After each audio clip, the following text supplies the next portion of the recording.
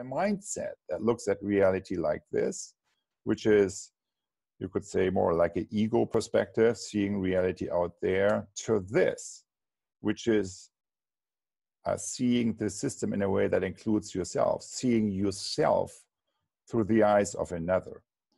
And when we go through this shift from here to here on the level of the individual, that's what we call awareness or mindfulness. And when we do that on the level of a group in communication uh, from here to here, we call that a shift from debate to dialogue. So, dialogue is not people talking to each other, dialogue is really making a system see itself. Where does that, and that's, as I said before, that was kind of my third principle. That's really where, when I work with practical systems, where the added value comes in. That's where the consciousness of a group is shifting. When you make a system sense and see itself, what are practical methods of doing that? So this is kind of one thing you see. It's called like 3D mapping. You map the current system, and then you um, look at it through a structured process of questions, and you get all the different voices out, and then you change it towards the emerging future. Here, this was kind of the uh, all the business unit leaders from the Alibaba group. So like a bunch of different companies that work as an ecosystem. Uh, 30, 40 people in the room. So we have like just um, a different bunch of tables. This is in Brazil, 150 people in the room. So we have more tables and then make people share across tables. So you begin to see the shared patterns across tables.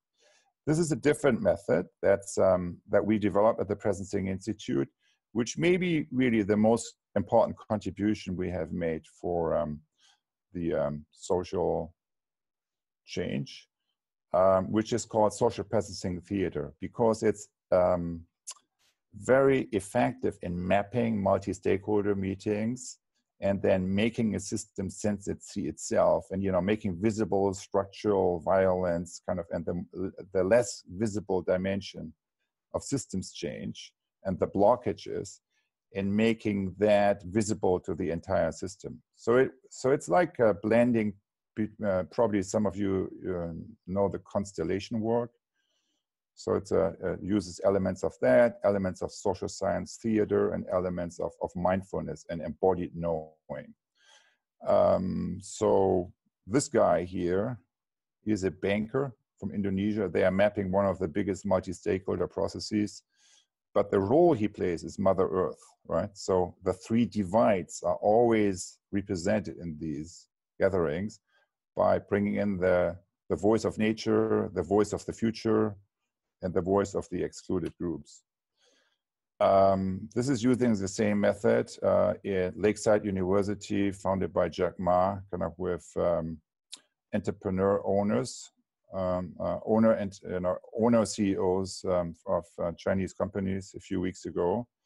So you can use these methodologies so where each company was represented with their top three people and then they make each participate in each other's cases kind of do multi-stakeholder mapping there um, Ant Financial the biggest fintech company in the world um, who by the way succeeded in uh, making 220 million chinese customers participate in reforestation activities through Ant Forest, the app. Um, doing so, how in this case, this is kind of the third method here, which is simply learning journeys, sensing journeys. So they, the team, the top 30 people of the company spent like a week basically in a very detailed way understanding and feeling and interviewing the entire business ecosystem that they have in two different countries in, in, in Southeast Asia. Philippines and Indonesia. And then they came together. So three days for that, and then two days um, synthesizing that in um, Singapore.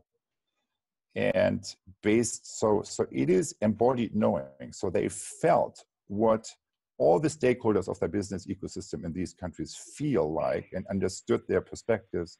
And then from that um, uh, sensing activity, they moved into having a very different conversation with each other about where they wanted to take their globalization strategy. So last point here is um, how does systems thinking really apply to the evolution of systems? And what I would see is basically the same um, structure of uh, evolution of systems change uh, across all major systems that uh, I have been working with. And it's moving through the following three stages, kind of from input and authority centric, so like in healthcare and learning, traditional teacher or doctor centric systems.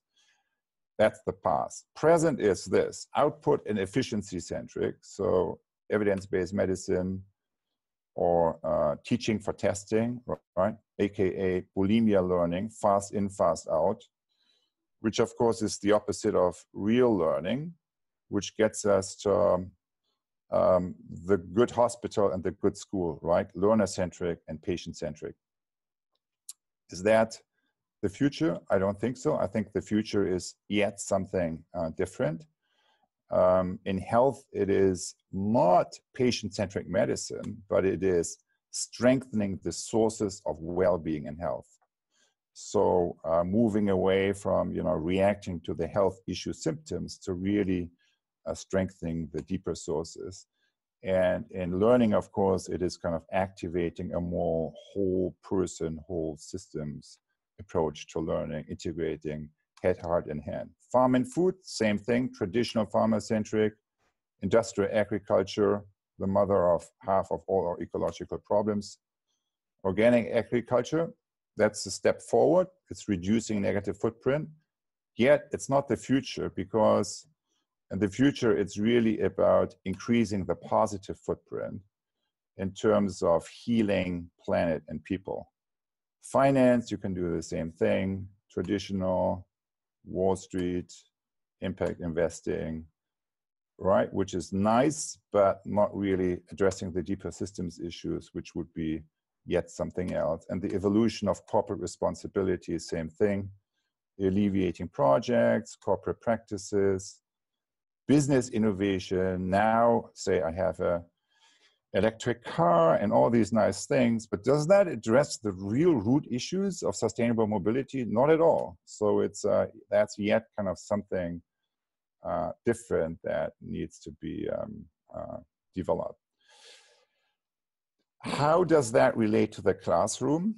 so the traditional uh, approach was well transformative learning experiences you can only do in small groups and um, that's also what i thought and then three years ago here at mit i got the possibility to move my class which is called ulab here at sloan to, um, to this platform which resulted in a user group of now 120,000 uh, participants not all of them, of course, are active, so don't get the wrong uh, impression. But it is like they have formed communities in places around the world, kind of uh, significantly. We have more than 1,200 on our website, but many hundreds that are still active. So it really activated a global innovation ecosystem, right, of communities that have a, um, a life uh, way beyond the end of the course. And um, so that really this phenomenon kind of activating this kind of ecosystem that was already dormant there before really brought up this idea of uh, that i uh, you know suggested at the end of the uh, the paper that was sent around uh, the, the little blog um, to um, to of the society transformation lab which is really the idea to create like a prototyping infrastructure. So it's a you it's it's a point. It's a part two from ULab. ULab is really for individuals connecting to your deeper source of knowing. The society transformation lab is really for teams moving your idea into action and real world impact. And we are now uh, addressing some of the key challenges, and we are now uh, um, talking with a whole bunch of partners, including the UN, Teach for All, Ashoka, and so on and so forth, uh, to really bring together a, a broad uh, coalition of um, organizations and networks that work together around this key issues, basically uh, implementing the Sustainable Development Goals at scale um, by Uh, and then creating a parallel track at universities kind of uh, that help uh, students to participate, to connect to these initiatives, and to participate and um, uh, you know uh, learn how to engage with the um, new methods and tools of movement building, which are in part digital and in part related to really offline um, social technologies like deep listening, kind of in circle work, where we can um, activate the more deeper human dimension that is uh, required um, uh, in change.